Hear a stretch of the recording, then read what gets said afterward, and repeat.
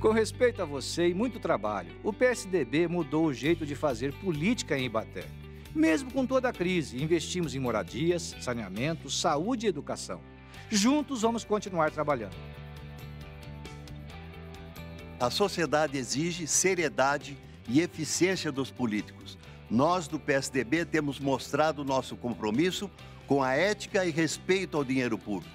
Política se faz assim, com honestidade e resultado.